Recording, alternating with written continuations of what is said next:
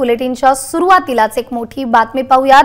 Red झोनमध्ये जीवनावश्यक सेवांव्यतिरिक्तची दुकानं तसंच दारूची दुकानं उघडण्यास परवानगी देण्याचा निर्णय महाराष्ट्र सरकारनं घेतलाय.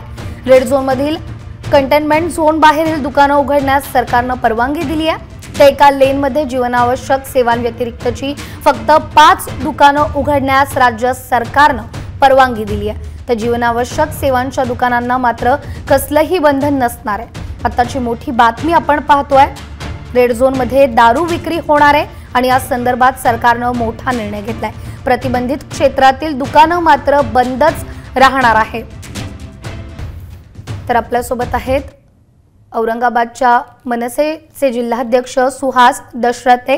त्यांच्याकडून अधिक माहिती घेऊया. सुहासजी राज्य सरकारनं या संदर्भात मोठा निर्णय घेतलाय. मात्र या अगोदरच मनसे अध्यक्ष राज ठाकरे यांनी सरकारला पत्र लिहिलं होतं. त्यात केवळ दारूची दुकानच नाही तर इतर व्यवसाय उद्योगधंद्यांनाही परवानगी द्यावी असं म्हटलं होतं आणि आज सरकारनं हा मोठा निर्णय घेतलेला आहे. काय आपली पहिली प्रतिक्रिया?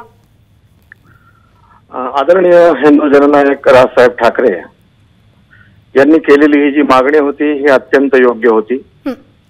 कारण त्यामधून महाराष्ट्र शासनाला निधी मिळणार होता. त्यामधून जास्तीत जास्त प्रमाणामध्ये निधी उत्पन्न होण्याचं हे एक साधन आहे.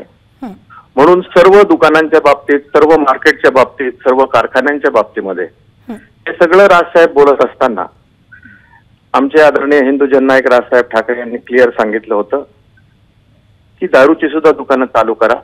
ज्याच्यामधून सरकारला जे उत्पन्न होणार आहे ते खूप मोठ्या प्रमाणामध्ये होणार आहे. कारण कोरोनाने जे काही बाधित झालेलं सगळं मार्केट आहे संपूर्ण बाजार व्यवस्था कोल कोलॅप्स झालेली आहे कोलमडलेली आहे.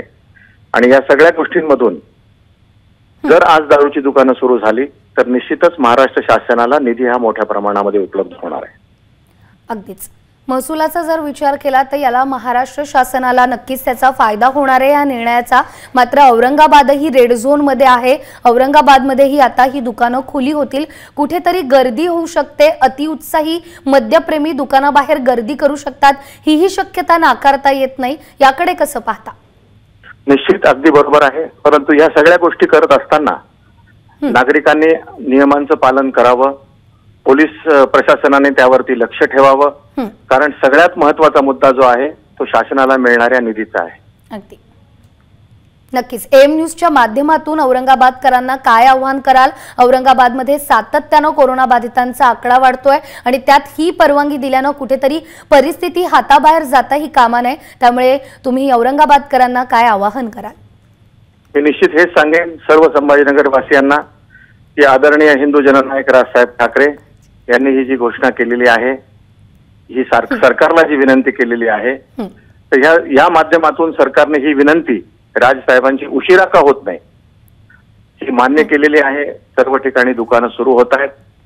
तर आपण ज्या ज्या पद्धतीने जे कोणी या सगळ्या गोष्टी घेण्यासाठी दुकानांमध्ये जाणार आहे.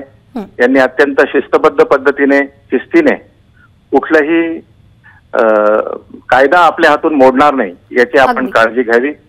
त्याचप्रमाणे कोरोनाच्या बाबतीमध्ये मी सांगेन की जो कोरोना या ठिकाणी वाढत चाललेला आहे.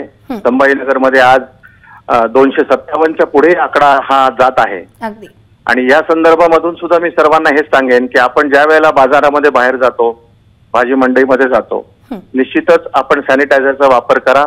आपण मास्कचा वापर करा आणि जास्तीत जास्त अंतर हे शारीरिक अंतर एकमेकांमध्ये ठेवा आणि खरेदी करा नक्कीच खूप खूप धन्यवाद आपल्या या प्रतिक्रियेसाठी.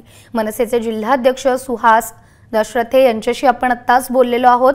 सरकारच्या निर्णयाचं त्यांनी स्वागत केलंय. मात्र औरंगाबादकरांना त्यांनी महत्त्वपूर्ण असा सल्लाही दिलेला आहे. सोशल डिस्टन्सचं कुठेही उल्लंघन होणार नाही याची प्रत्येकानं काळजी घ्यावी असं सुहास दशरथे म्हणतात